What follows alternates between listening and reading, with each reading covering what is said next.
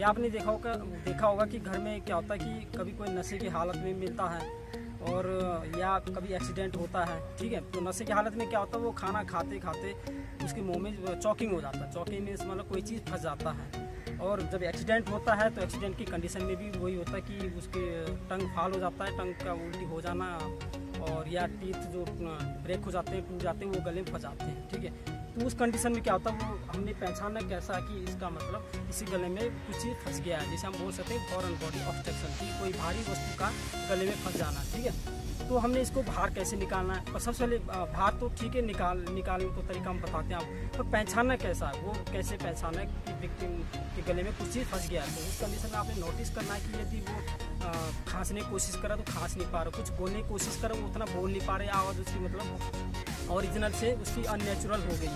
ठीक है, सांस लेने की कोशिश कर करा वो सांस भी नहीं ले पा रहा है।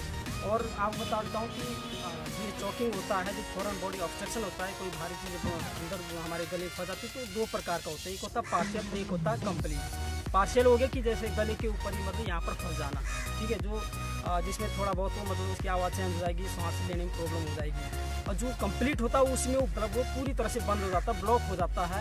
वो चाहे किसी चीज़ का इम्पेयर का या घुस जाना हो या कोई चीज़ बहुत अंदर घुसा मतलब गले में काफ़ी नीचे चला जाना हो कि जिससे मतलब वो निकालने की कोशिश करें निकल नहीं पाए तो उस कंडीशन में वो क्या करता है बहुत बहुत बुरी तरह से डर जाता है और ये जो यूनिवर्सल साइन है, वो है इस प्रकार। वो इस कंडीशन में आपको मिलेगा तो ये समझ लेना कि इसको चौकिंग होगी तो आपने कुछ नहीं करना है। जैसे अभी मैं बताता हूँ आपको वीडियो के माध्यम से कैसे चौकिंग की जो समस्या, कैसे इसको दूर करना जैसे इस व्यक्ति को देखो चौकिंग हो जाए इसमें इसमें से उन्होंने कुछ खाया इसके गले फंस गया तो आपने क्या करना है? उनको थोड़ा सांत्वन देना की हाँ हाँ मैं आपको ठीक कर दूँ आप टेंशन मत लो में हाँ। तो सबसे पहले ये जो पाँव है इस प्रकार रखना है यहाँ पर नीचे और ये जो आपका हाथ है यहाँ दोनों हाथ नीचे से ले जाना है ठीक है? और ध्यान ये रहे कि आप यहाँ सबसे पहले इसको बाहर इसका हाथ जो है इसको बाहर निकालने की कोशिश करना है और इसको सांत्वन देते रहना कि मैं ठीक कर दूँगा आपको ठीक है?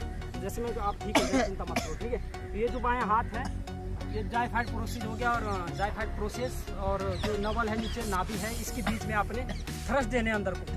तो जायफाइड प्रोसेस कहाँ पर आपको पता ही होगा। ठीक है, नहीं पता कि ये जो चेस्ट है हमारी स्टर्नम के नीचे साइड में जो ये लंबी सी हड्डी होती है उसे जायफाइड प्रोसेस ठीक है, और नाभि नाभि से दो उंगली नीचे और जायफाइड प्रोसेस से नीचे, दो उंगली नीचे। तो बीच में बीच में आपने थ्रस्ट देना। तो ये आपका हाथ हो गया, इस प्रकार आपने हम टाइप का बनाना है, ठीक है?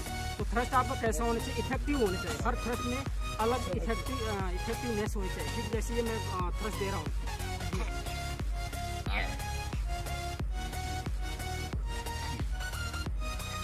तो इस कंडीशन में जो भी इसके मुँह में फंसा होगा हंड्रेड परसेंट निकल जाएगा। ठीक है, इसको जो बोलते हैं हिमलिच मैन्यूवर हिमलिच मैन्यूवर नाम कैसे पड़ा है? कोई डॉक्टर था, एक डॉक्टर का नाम था हिमलिच मैन्यूवर उसने इस प्रकार के केस 800 केस सक्सेसफुली उन्होंने विक्टिम को बचाया जो भी इस प्रकार केस उसके पास गए, उन्होंने यही मेथड को अप्लाई करके वो 800 केस को बचाया, ठीक है?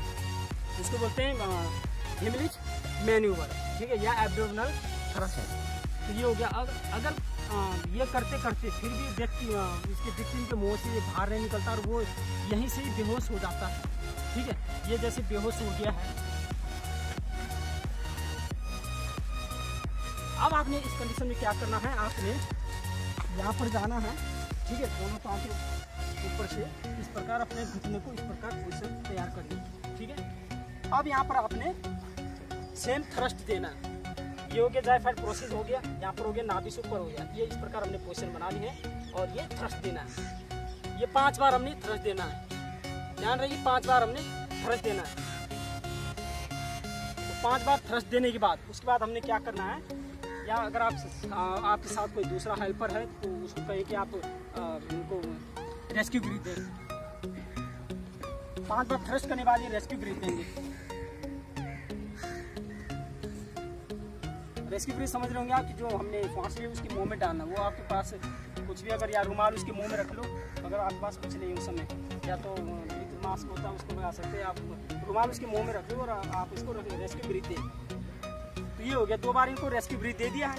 अब फिर दो अगेन मैं वही थ्रस्ट दूँगा। पाँच बार मैंने थ्रस्ट दे दिया, अब दो बार ये रेस्क्यू ब्रीथ देंगे।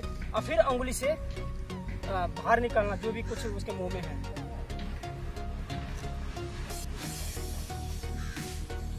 हाँ तो ये इसके मुँह में कुछ फंसा था, ये हमने बाहर निकाल दिया है। और ये मैं आपको आशा दिलाता हूँ कि आप कभी अगर आपके सामने इस प्रकार का केस मिलता है और आप इसको अप्लाई करेंगे तो आप हंड्रेड परसेंट अपनों की या दूसरों की जान बचा पाएँगे। तो इस मेथड को आप ज़रूर अपने ध्यान में रखें और लोगों की जान बचाएँ, अपनी जान में कुछ आप यहाँ से किसी की सेवा हो पाए तो इससे बढ़कर आपको ज़िंदगी में इससे बड़ी अपॉर्चुनिटी में कुछ नहीं कह सकता क्योंकि किसी की जान बचाना सबसे बड़ा पुण्य का काम माना जाता है। Okay thank you